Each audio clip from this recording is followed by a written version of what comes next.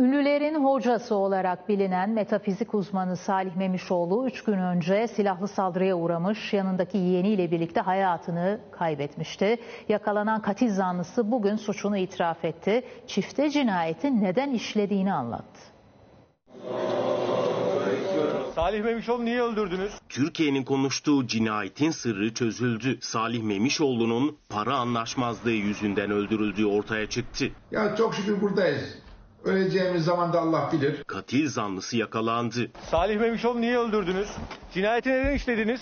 Defne yaprağını yaktığınızda, bunu yaktığınızda bunun işi imha olur ve biter. Ünlülerin hocası metafizik uzmanı Salih Memişoğlu geçen salı silahlı saldırıya uğramış, hayatını kaybetmişti. Salih Memişoğlu ve katil zanlısı Mustafa Öztürk uzun yıllardır tanışıyorlardı. 2018 yılı itibariyle Memişoğlu'nun oğlunun işlettiği hayvanat bahçesinde Mustafa Öztürk kafe işletmeye başladı. Ancak bir yıl sonra ikili aralarındaki anlaşmayı karşılıklı olarak sonlandırdı. Anlaşmaya göre Salih Memişoğlu işletmenin fesi için 900 bin lira ödedi. Aralarında alacak verecek kalmadı. Mustafa Öztürk 900 bin lira almasına rağmen hakkının yenildiğini düşünüyordu. İddiaya göre Salih Memişoğlu'ndan daha fazla para istemeye başladı. Ancak Memişoğlu her defasında bu isteği geri çevirdi. Son görüşmeleri salı günü oldu. Buluşup konuşmak istiyorum diyen Mustafa Öztürk hayvanat bahçesine geldi. İddiaya göre katil zanlısı bir kez daha Salih Memişoğlu'ndan para istedi. Memişoğlu benim Allah'tan başka kimseye borcum yok dedi.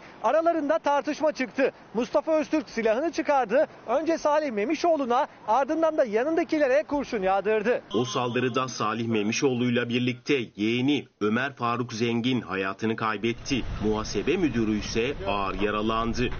Çifte cinayetin ardından kaçan zanlı İstanbul Asayiş Büro ekipleri tarafından Çekmeköy'de yakalandı, suçunu itiraf etti. Salih Memişoğlu niye öldürdünüz?